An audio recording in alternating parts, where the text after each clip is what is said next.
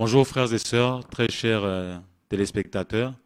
Nous bénissons Dieu pour ce qu'il nous donne encore l'occasion d'être aujourd'hui sur ce plateau pour pouvoir partager la parole. Et ce, cette occasion que Dieu nous donne, nous voulons simplement la saisir pour parler simplement des choses qui concernent le royaume. Et si on peut s'incliner tous dans la prière par rapport à la parole. Seigneur, tu es digne de louange et de gloire. C'est un privilège que tu fais à l'homme de parler de toi, Seigneur. Nous n'avons aucun mérite. Seigneur, sois élevé, sois glorifié, Père. Je prie que tu nous ouvres l'intelligence, à moi le premier, pour comprendre encore les mystères de ta parole, Seigneur, ton amour et ta joie.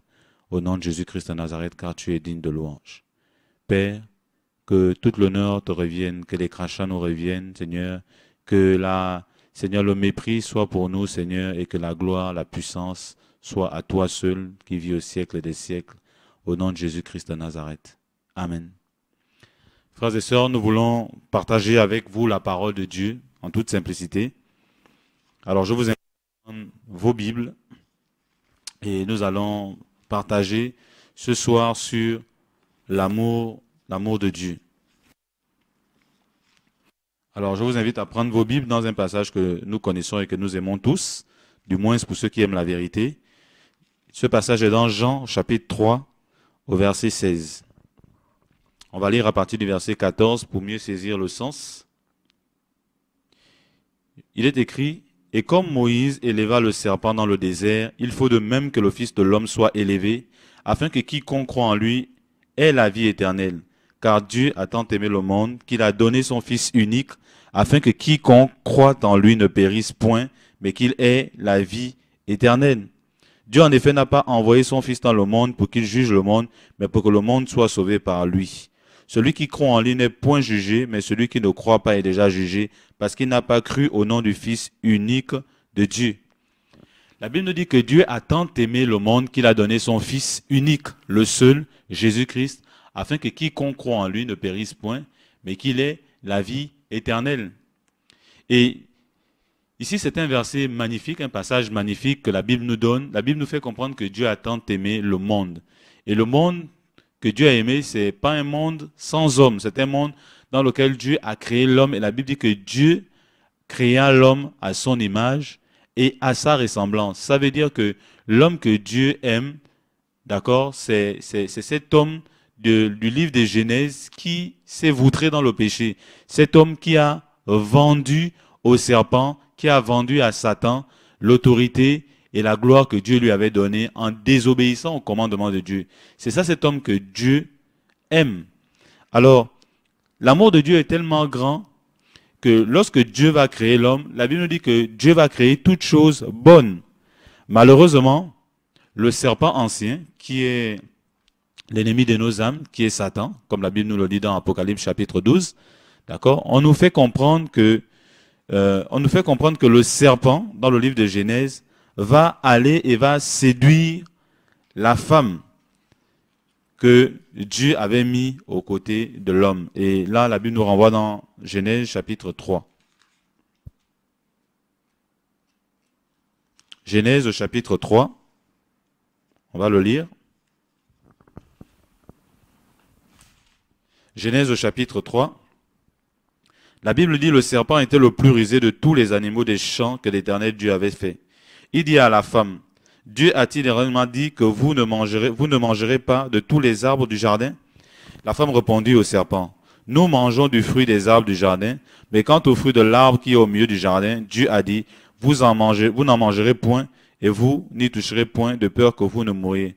Alors le serpent dit à la femme, vous ne mourriez point, mais Dieu sait que le jour où vous en mangerez, vos yeux s'ouvriront et vous serez comme des dieux connaissant le bien et le mal. L'homme vit que l'arbre était bon à manger. La femme, pardon, vit que l'arbre était bon à manger et agréable à la vue et qu'il était précieux pour ouvrir l'intelligence. Elle prit de son fruit et en mangea. Elle en donna aussi à son mari qui était auprès d'elle et il en mangea. Les yeux de l'un et de l'autre s'ouvrirent et ils connurent qu'ils étaient nus. Ayant cousu des feuilles de figuier, ils s'en firent des ceintures. Alors ils entendirent la voix de l'Éternel Dieu qui parcourait le jardin vers le soir. Et l'homme et sa femme se cachèrent loin de la face de l'Éternel Dieu au milieu des arbres du jardin. Mais l'Éternel Dieu appela l'homme et lui dit, Où es-tu? Il répondit, j'ai entendu ta voix dans le jardin, et j'ai eu peur, parce que je suis nuit, et je me suis caché. Et l'Éternel Dieu dit, Qui t'a appris que tu es nu? Est-ce que tu as mangé de l'arbre dont je t'avais défendu de manger? L'homme répondit, La femme que tu as mise auprès de moi m'a donné de l'arbre, j'en ai mangé. Et l'Éternel dit à la femme, Pourquoi as-tu fait cela? La femme répondit, Le serpent m'a séduite, et j'en ai mangé. Ici, la Bible nous brosse, nous, nous décrit le, le schéma dans lequel l'homme, justement, s'est corrompu en obéissant à la parole du serpent qui est venu. Le serpent, vous voyez, dans ce passage est venu pour corrompre la femme en se basant sur la parole de Dieu. C'est-à-dire le serpent a détourné la parole de Dieu en posant la question à la femme, est-ce que Dieu a-t-il réellement dit? Et nous savons que Dieu avait réellement dit. Dieu avait dit, tu ne mangeras pas de l'arbre de la connaissance du bien, car le jour où tu mangeras ce fruit, tu mourras, tu mourras certainement. Ça veut dire que nous avons, nous en tant qu'hommes, l'obligation de garder la parole de Dieu. C'est juste une parenthèse. Nous parlons de l'amour de Dieu. Et nous voyons que quand l'homme va pécher, Dieu pouvait détruire l'homme. Dieu pouvait tuer l'homme. Dieu pouvait exterminer l'homme de façon définitive et passer à autre chose. Il est Dieu. Il pouvait décider de recréer un nouvel homme ou, je ne sais pas, créer une nouvelle planète. Mais Dieu va décider lui-même dans son amour de pouvoir tuer un animal et de pouvoir recouvrir l'homme qui s'était couvert de feuilles de figuier. Et c'est l'image des temps actuels dans lesquels les hommes se sont livrés à tellement de choses. Les hommes ont décidé d'abandonner Jésus pour se couvrir de leur propre force, de se couvrir de leur propre façon de voir. Et le Seigneur a offert sa vie en sacrifice aux hommes, afin que par sa mort et par sa résurrection, par le sang qu'il allait offrir à Dieu dans le temple, dans le tabernacle qui n'est pas fait de main d'homme, que l'homme puisse obtenir la rédemption éternelle. Et nous, en tant qu'enfants de Dieu aujourd'hui, nous avons reçu cette rédemption, cet amour de Dieu, il nous a été donné. Qu'est-ce que la Bible nous dit dans le livre de Romains? Romains. Quand nous lisons le livre de Romains, Romains au chapitre 5, Romains 5, à partir du verset 1, la Bible dit, étant donc justifiés par la foi, nous avons la paix avec Dieu par notre Seigneur Jésus-Christ, en qui nous devons d'avoir eu par la foi accès à cette grâce dans laquelle nous demeurons fermes et nous nous glorifions dans l'espérance de la gloire de Dieu. Bien plus, nous nous glorifions même des afflictions, sachant que l'affliction produit la persévérance, la persévérance, la victoire dans l'épreuve et cette victoire, l'espérance. Or, l'espérance ne trompe point parce que l'amour de Dieu est répandu dans nos cœurs par le Saint-Esprit qui nous a été donné. Car lorsque nous étions encore sans force, Christ, au temps marqué, est mort pour des impies. Donc, c'est ça l'amour de Dieu. Cet amour consiste à ce que Dieu a donné son Fils en sacrifice à la croix pour que nous, les hommes, nous puissions obtenir le salut. Qu'on puisse obtenir le salut. Et lorsqu'on parle du sacrifice de Jésus à la croix, il faut comprendre que ce n'est pas un sacrifice qui a été simple. La Bible nous fait comprendre dans le livre de Romains 5, justement, que nous sommes en train de lire, en verset 7, À peine mourrait-on pour un juste, quelqu'un peut-être mourrait-il pour un homme de bien. Mais Dieu prouve son amour envers nous en ce que lorsque nous étions encore des pécheurs, Christ est mort pour nous. Donc Christ est mort pour les impies, les impies que tous les hommes sont ou ont été. Christ est mort pour eux dans le but de quoi? De pouvoir les sauver. Christ est mort pour nous dans le but de pouvoir nous sauver, nous racheter de la malédiction du péché. Alors, quelle est notre part à nous par rapport à cet amour que Dieu a manifesté? La Bible nous dit que comme Christ est mort pour nous et qu'il est revenu à la vie, et que nous aussi nous sommes morts avec lui et que nous sommes revenus à la vie, la Bible nous dit de marcher en nouveauté de vie. De marcher en nouveauté de vie à cause de cet amour qui a été manifesté par Christ à la croix de Golgotha. Et le Seigneur veut que nous puissions nous aussi à notre tour manifester cet amour. Frères et sœurs, véritablement, le temps n'est plus à la rigolade, le temps n'est plus à la blague, les temps sont difficiles. Et Christ est mort à la croix, pas pour que nous puissions nous voutrer dans le péché, pas pour que nous puissions jouer avec le péché, mais que nous puissions véritablement saisir cet amour dans nos cœurs, saisir cette espérance de l'amour de Dieu dans nos cœurs. Saisir cette espérance. Alors, qu'est-ce que la Bible nous dit? La Bible nous dit dans Romains 6, la Bible nous dit, à partir du verset euh, 4, nous avons donc été ensevelis par lui par le baptême en sa mort, afin que comme Christ est ressuscité des morts par la gloire du Père, de même nous aussi nous marchions en nouveauté de vie. En effet, si nous sommes devenus une même plante avec lui par la conformité à sa mort, nous le serons aussi par la conformité à sa résurrection, sachant que notre vieil homme a été crucifié avec lui, afin que le corps du péché fût détruit pour que nous ne soyons plus esclaves du péché. Parce que nous étions esclaves du péché, Christ est mort à la croix pour nous affranchir. Notre vieil homme a été détruit, il est mort, et nous nous sommes nés de nouveau, nous sommes nés d'en haut, et cette naissance d'en haut nous amène à vivre une vie de sainteté par rapport à l'amour que Dieu déverse dans nos cœurs. Je me souviens encore, aujourd'hui, Dieu m'a fait la grâce encore de me souvenir de mes premiers jours, mon jour, le jour de ma conversion, quand l'Esprit m'a touché, quand Dieu a touché mon cœur, combien de fois je pleurais sur ma vie et je disais, mais Seigneur, mais véritablement, donne-moi de t'aimer, Seigneur, parce que l'œuvre que tu as faite ce jour était tellement magnifique, Seigneur. Tu m'as sorti de beaucoup de choses, Seigneur. Tu m'as sorti de l'emprise de la sorcellerie, Seigneur, qui voulait me prendre, Seigneur. Tu m'as sorti de l'emprise de la drogue. Tu m'as sorti de l'emprise de, de, de l'ivrognerie parce que j'étais ivrogne. Et le Seigneur, dans son amour, est venu me prendre de ces choses et il m'a délivré. Frère, c'est une grâce. C'est un amour. Qu'est-ce qu'on peut demander de mieux à ce Dieu magnifique et merveilleux? Qu'est-ce qu'on peut lui demander de plus si ce n'est que de l'aimer, de le glorifier et de pouvoir garder sa parole? Il dit, celui qui m'aime, c'est celui qui a mes commandements et qui les garde. Or, Dieu, l'amour que Dieu a manifesté pour nous n'est pas un amour imaginaire. La Bible nous dit dans le passage qu'on a lu en préambule que Dieu a tant aimé le monde qu'il a donné son Fils unique afin que quiconque croit en lui ne périsse point mais qu'il ait la vie éternelle. Ça veut dire quoi? Que Dieu, dans son amour, a posé des actes. C'est pourquoi, qu'est-ce que la Bible nous dit? L'apôtre Paul, notre frère, nous exhorte, il nous dit, dans le livre de Colossiens, Colossiens, chapitre 3,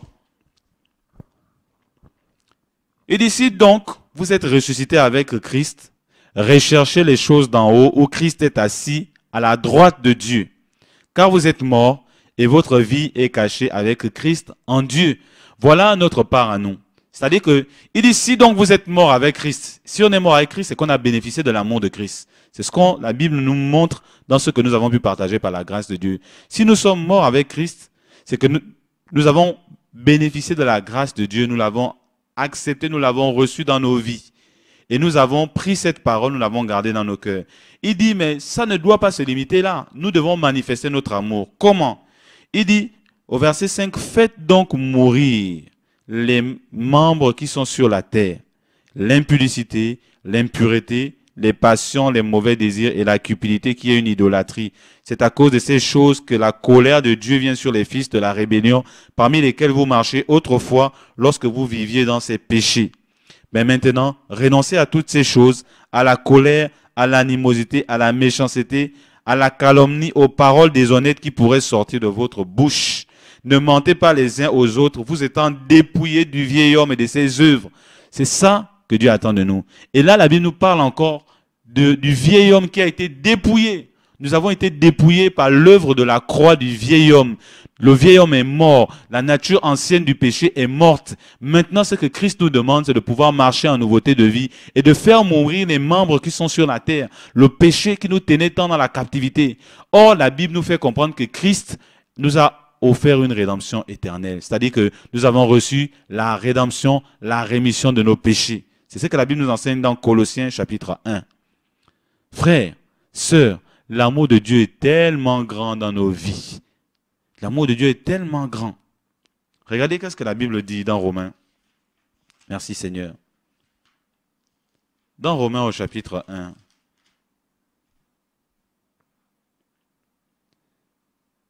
La Bible nous dit au verset 18, à partir du verset 18, la colère de Dieu se révèle du ciel contre toute impiété et toute injustice des hommes qui retiennent injustement la vérité captive, car ce qu'on peut connaître de Dieu est manifeste pour eux, Dieu le leur ayant fait connaître. En effet, les perfections invisibles de Dieu, sa puissance éternelle et sa divinité se voient comme à l'œil depuis la création du monde quand on les considère dans ses ouvrages. Ils sont donc inexcusables, puisqu'ayant connu Dieu, ils ne l'ont point glorifié comme Dieu et ne lui ont point rendu grâce, mais ils se sont égarés dans leurs pensées et leur cœur sans intelligence a été plongé dans les ténèbres. La Bible nous enseigne ici que les perfections de Dieu sont visibles à l'œil nu. Personne ne peut dire qu'il ne voit pas Dieu. Et pour nous qui sommes enfants de Dieu, nous voyons tous les jours le Seigneur. Tous les jours. Tous les jours. Et frères, sœurs, ce que je pourrais nous exhorter, nous dire aujourd'hui, c'est que nous ne devons pas penser que le souffle de vie que nous avons est normal. Nous ne devons pas penser que le fait de se lever le matin, c'est normal.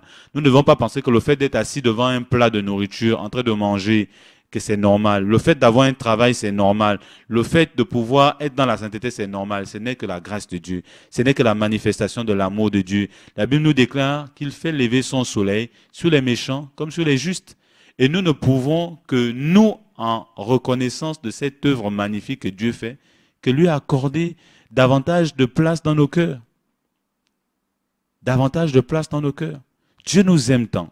Dieu aime tant l'homme. Il aime tant l'homme que chaque jour, le Seigneur fait tout pour pouvoir nous attirer davantage à lui. Nous devons aimer la parole. Nous devons aimer le Seigneur. Nous devons aimer l'agneau de Dieu qui a offert sa vie en sacrifice pour nous. Et nous devons lui être reconnaissants. Être reconnaissant. Il dit, celui qui m'aime, c'est celui qui a mes commandements et qui les garde. Quels sont ces commandements? Premièrement, lui obéir par rapport à la sainteté.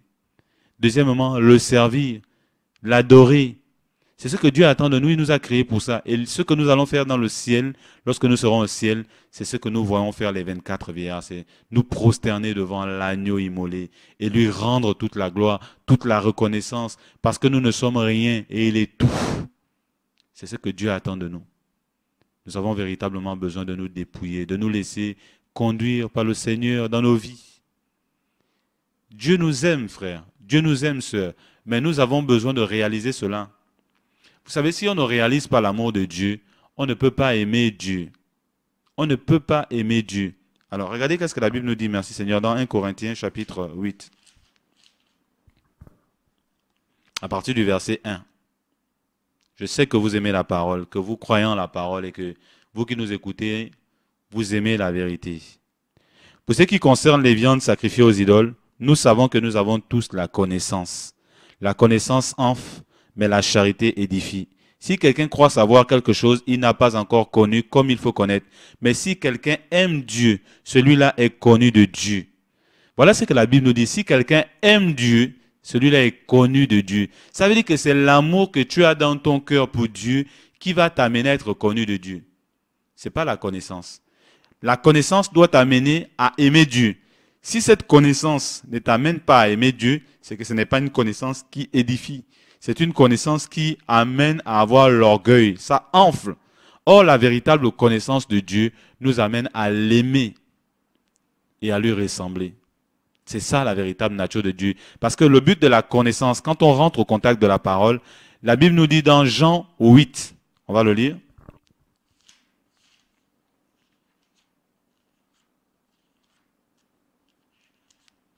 Merci Seigneur pour ta parole qui est esprit et vie, Seigneur.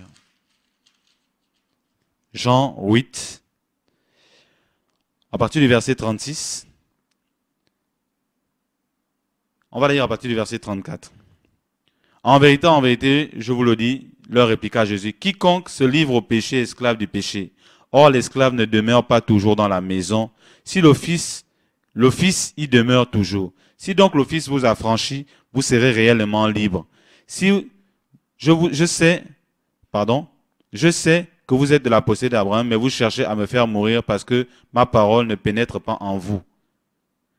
Voilà ce que la Bible nous dit. Si le Fils vous a franchi, vous serez réellement libre. Et Jésus va leur dire, vous connaîtrez la vérité et la vérité vous affranchira.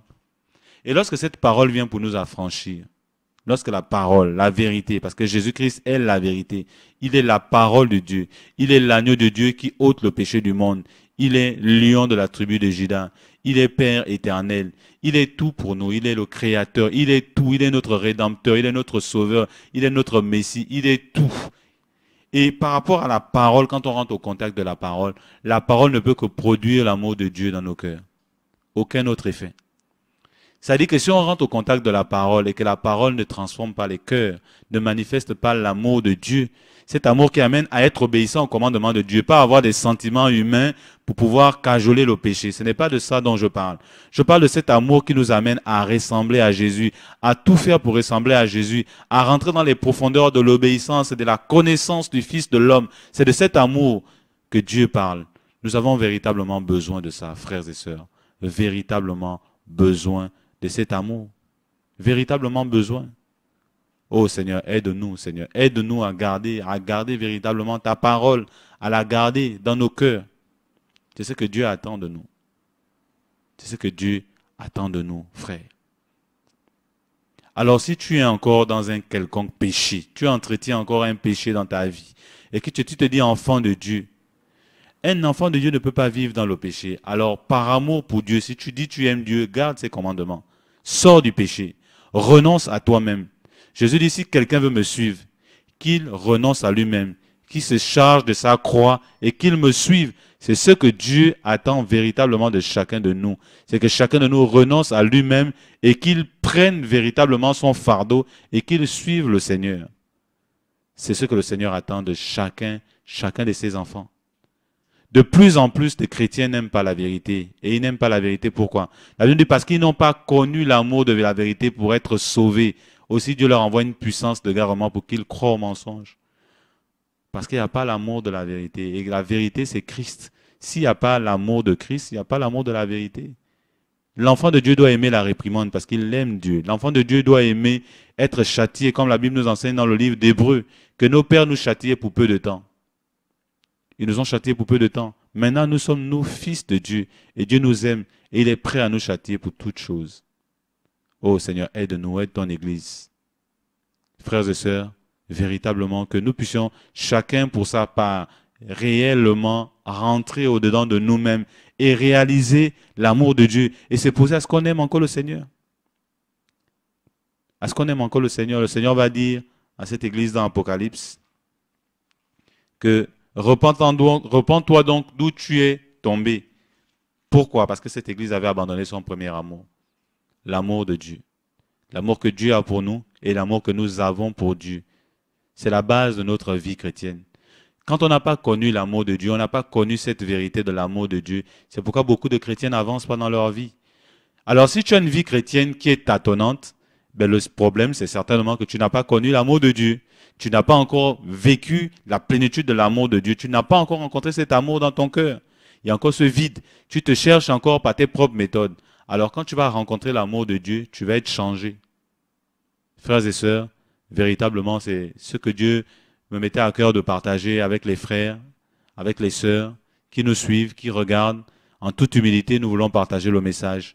Jésus-Christ revient. Nous voulons davantage annoncer son retour, davantage nous préparer tous pour son départ. Les temps sont compliqués. La Bible nous dit que lorsque l'iniquité sera accrue, l'amour du plus grand nombre va se refroidir. Matthieu 24.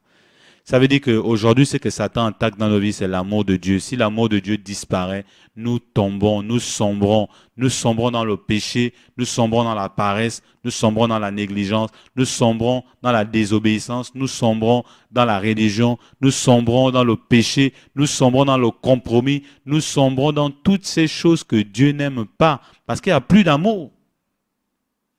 Nous avons besoin de revenir à l'amour de Dieu. Si tu as abandonner l'amour de Dieu. La chose que Dieu te demande, c'est revenir au premier amour. Revenir au premier amour. Si tu n'as pas encore goûté à l'amour de Dieu, donne ton cœur à Jésus. Donne ton cœur à Jésus. Et Jésus va se révéler à toi comme étant le Père. Comme étant ce Père que tu n'as jamais connu. Comme étant cette mère qui ne t'a jamais donné l'amour. Comme étant ces parents que tu n'as jamais connus. Il va se révéler à toi comme étant le Père. Oh Seigneur, tu es magnifique, Seigneur. Tu es tellement bon, Seigneur, que tu veux te révéler aux hommes comme étant le Père, le Père, le Père de la lumière, Seigneur. Que ces personnes qui nous écoutent, Seigneur, tu puisses te révéler à eux comme étant le Père de la lumière, Seigneur, le Père de la lumière, le Père de la lumière, Seigneur, pour que ces personnes véritablement soient touchées par toi, par la vérité de ta parole, au nom de Jésus-Christ de Nazareth. Oh Seigneur, merci pour ta grâce. Seigneur, merci de nous avoir fait avoir la grâce d'avoir d'être enfant de Dieu, Seigneur, la grâce de te connaître. C'est un privilège, Seigneur. Seigneur, que les frères, les sœurs qui nous suivent, et ceux qui ne sont pas chrétiens qui nous suivent, qui n'ont pas connu l'amour de la vérité, qui ont manqué, Seigneur Père, de ressentir l'amour de leurs parents, de ressentir l'amour, Seigneur, de leur mari, de leur femme. Seigneur, ces personnes qui ont été blessées ont besoin de connaître ton amour. Seigneur, tu nous as guéris, nous, Seigneur, lorsque tu nous as sortis du monde. Seigneur, du manque d'amour. Révèle-toi, Seigneur. Jésus va dire, il est venu pour guérir ceux qui ont les cœurs brisés. Ça veut dire que lorsqu'on n'a pas connu l'amour, il n'y a que Jésus qui peut donner l'amour, véritablement. Frères et sœurs, nous arrivons au terme du partage. Nous bénissons Dieu et pour ce partage, pour l'occasion qu'il nous donne de partager. Et que le Seigneur soit béni et que Dieu nous garde tous, que chacun de nous, nous puissions nous sanctifier, nous préparer pour le retour de Jésus, parce que les temps sont difficiles. De plus en plus, quand on regarde l'actualité, c'est compliqué, c'est difficile, les guerres en Libye, les guerres partout, l'arme atomique qui est en train d'être fabriquée par différents pays, nous voyons que les prophéties bibliques s'accomplissent sous nos yeux. Sous nos yeux. Nous voyons le péché dans les églises, nous voyons les nations qui se déchirent, nous voyons Israël qui est sous la pression, nous voyons l'État palestinien qui veut se mettre en place, nous voyons toutes ces choses. Nous comprenons une chose, Jésus est à la porte et il revient. Sanctifions-nous pour le départ, parce que notre cité est céleste. Elle n'est pas sur cette terre, elle est céleste, et nous devons partir à la rencontre de notre maison, de notre papa, de notre Dieu, parce que lui-même il sera le temple, lui-même il sera, il, sera, sera celui qui va éclairer le temple, il va éclairer la ville sainte. Oh, ce sera magnifique, on sera avec lui. C'est pourquoi nous devons nous sanctifier, nous devons nous purifier, nous devons nous mettre à part chaque jour pour obéir au Seigneur. Voilà, frères et sœurs, vraiment que Dieu soit béni et que Dieu nous garde tous et véritablement prions, priez pour cette vision que Dieu nous donne par rapport à la chaîne de télévision, que véritablement l'œuvre de Dieu puisse avancer, voilà, et que nous puissions émettre dans toute la ville de Port-Gentil et que le peuple de Dieu soit délivré par rapport à tous ces faux pasteurs, ces faux prophètes qui sont là et qui tiennent le peuple en captivité. Parce que vous savez, nous sommes dans une ville économique, voilà, une ville pétrolifère et c'est un point d'attraction pour les hommes qui aiment l'argent. Et nous voulons annoncer toute la vérité de l'évangile pour que les hommes puissent aller vers Jésus et non vers les pasteurs. Voilà, donc soutenons cette œuvre dans la prière et que Dieu soit béni. Voilà, donc que Dieu soit béni et que toute la gloire lui revienne. Et rendez-vous à notre prochaine émission quand Dieu le permet.